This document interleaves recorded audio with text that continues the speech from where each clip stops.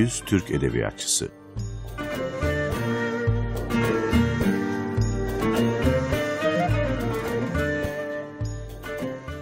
Sami Paşazade Sezai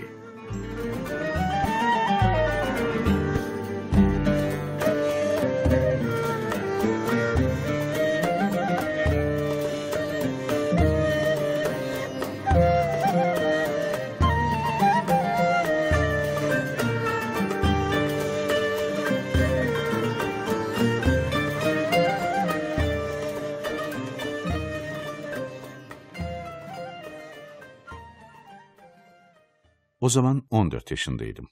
O genç gönlü basın sevdası önüne geçilmez sevgisiyle doldurmuş ve kaplamıştı. Bir yazar olmak, imzasız olsun, 2-3 satırlık bir yazımı gazetede basılı görmek benim için hayata değer bir ikbaldi. Fakat gazeteye nasıl yazmalı? Babam, gözyaşlarımla ettiğim yalvarışa bile mümkün değil izin vermiyor, hatta yazdığım şeyleri umumun değil, kendinden başka kimsenin görmesine müsaade etmiyordu. Kamer adlı bir gazete çıkmaya başlandığını işittim. Hemen bu gazetenin Galata'daki matbaasına koştum. Orada iskemliğe büyük bir gururla oturduğum gözümün önüne geldikçe kendimi gülmekten men edemem. Hala gözümü kapasam görürüm. Perdesiz pencerenin yanında yeşil örtülü bir masa, üstünde bir büyük hokkayla, içinde hizmeti pek nadir olan uzun bir kalem dururdu.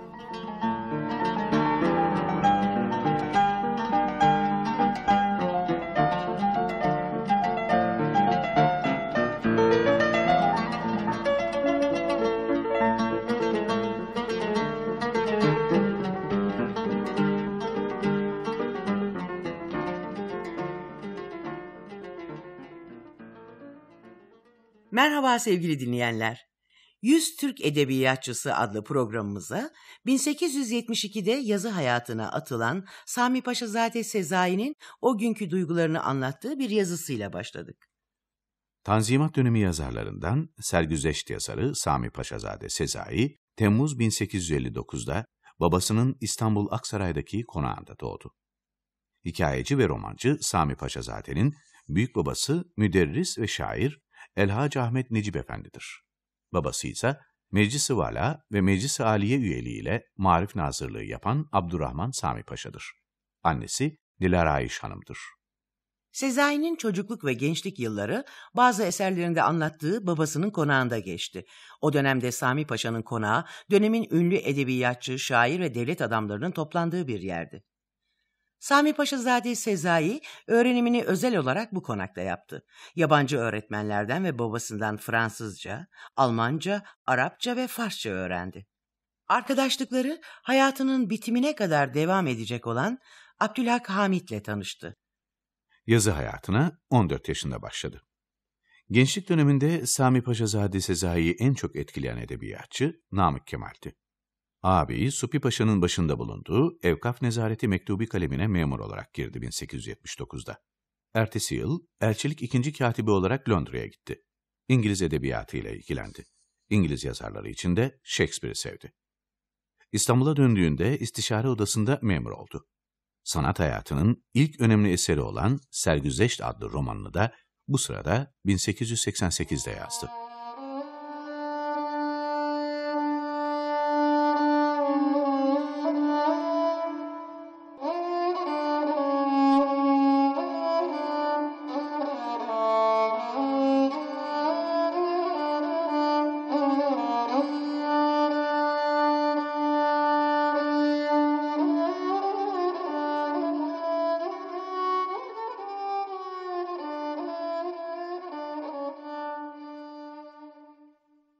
Git hanımın eteğini öp.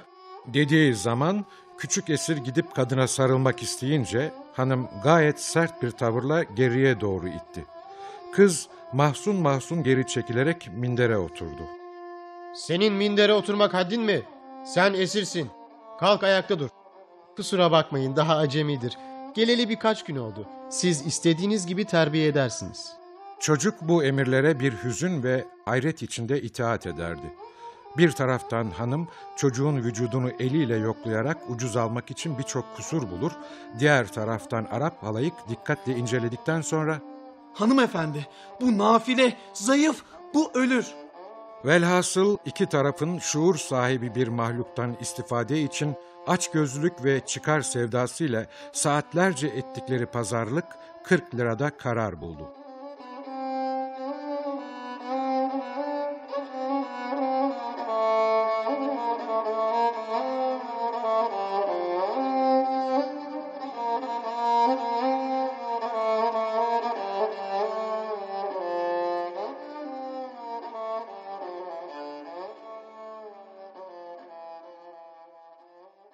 1901'de Jön Türklere katılmak üzere gizlice Paris'te 7 yıl kaldı.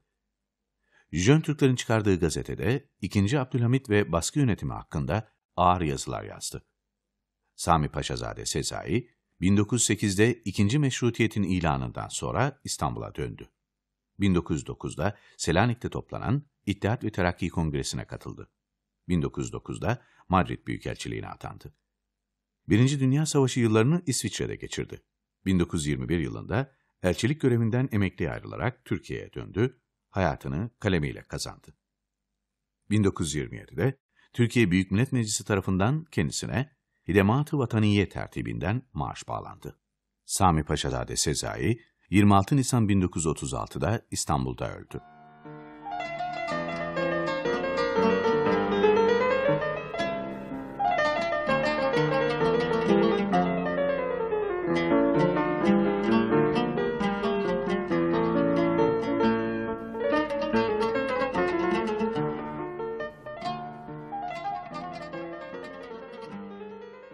'Yenileşme dönemi Türk Edebiyatı temsilcilerinden Sami Paşazade Sezai, arkadaşları gibi Namık Kemal'in etkisi altında kaldı. Hayatı boyunca onun düşüncelerini savundu. Edebi nitelikteki bütün eserlerinde konularını hep yerli hayattan aldı. Türk roman tarihinde bir dönüm noktası olan Sergüzeşt romanıyla tanındı Sami Paşazade Sezai baştan sona bir mal gibi alınıp satılan, ezilen, hor görülen, oradan oraya savrulan Kafkasya'dan kaçırılmış Dilber adlı bir kızın trajik hikayesini anlattı Sergüzeş romanında. Dilber'in yaşadıkları aracılığıyla toplumsal acıma duygusunu gündeme getirdi. Övgüler yanında eleştiriler de aldı. Eleştirilerin başında esirliği sadece doğuya ait bir uygulama gibi göstermesi olmuştur. Sami Paşazade Sezai, Türk Edebiyatı'nda modern anlamda kısa hikayenin kurucusudur. Halit Ziya Uşaklıgil'den önce yetişen en büyük üslub ustası olarak kabul edilir. Alphonse Daude'den esinlenerek kaleme aldığı, edebiyatımızın ilk gerçekçi hikayelerini topladığı, Küçük Şeyler adlı kitabından aldığımız Bu Büyük Adam Kimdir'den küçük bir bölüm dinliyoruz. Müzik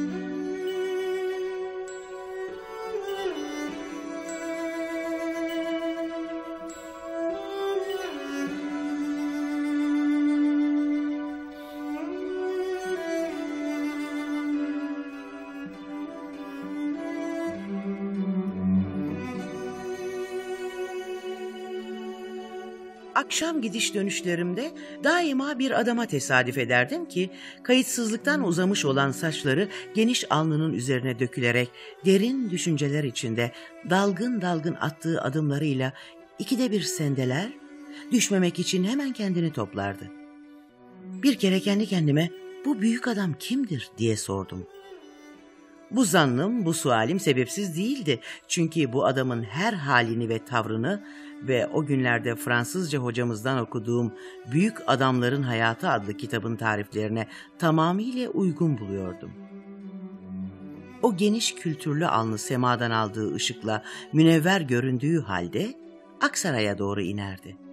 Eğer hafızam beni aldatmıyorsa 20 gün sonra ta uzaktan bir tütüncü dükkanında tütüncünün kendisini okumakta olduğu bir kağıdı dikkatle dinlediğini görerek o tarafa doğru gidince büyük adam da dükkandan çıkıyordu. Tütüncüye büyük adamı okuduğun kağıt neydi diye sordum.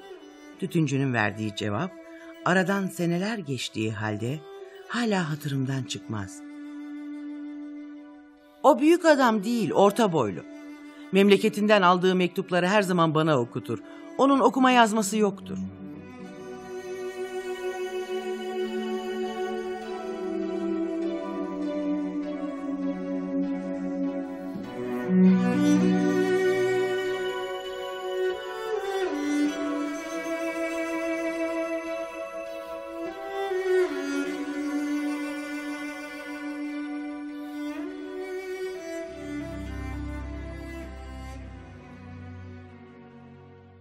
Az sayıda eser vermesine rağmen edebiyatımıza roman ve hikaye alanında önemli katkılarda bulundu Sami Paşazade Sezai.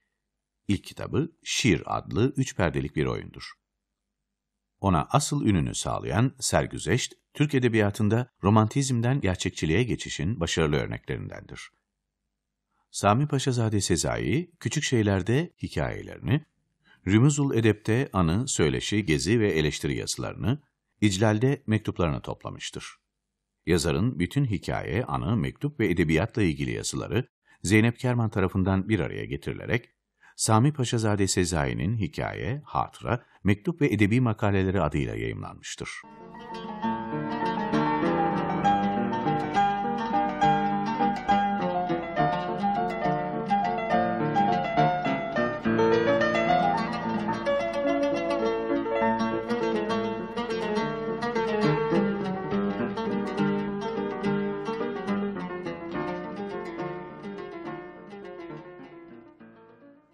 İspanya'da geçirdiği yılların yansıması olmasının yanı sıra Türk edebiyatının en güzel düz yazı örneklerinden Gırnata adlı yazısıyla bitiriyoruz programımızı.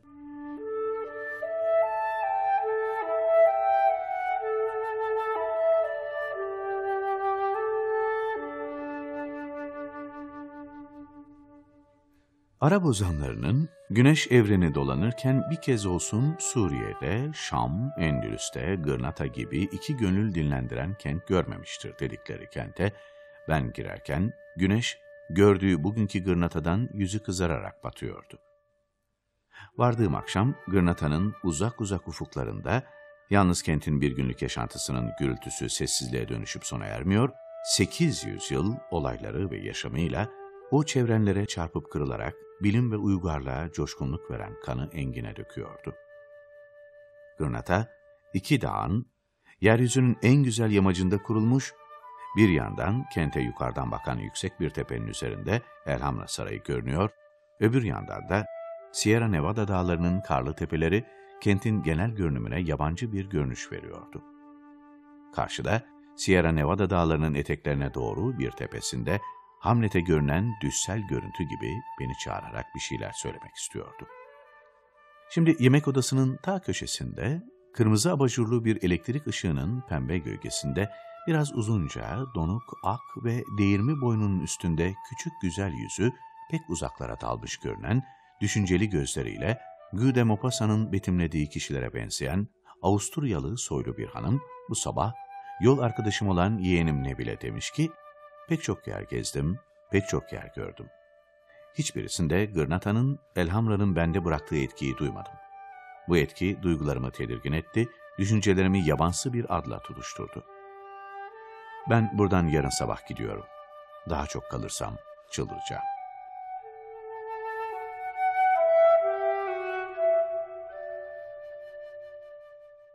Hepinize şiirle, hikayeyle, romanla dolu güzel günler dileriz.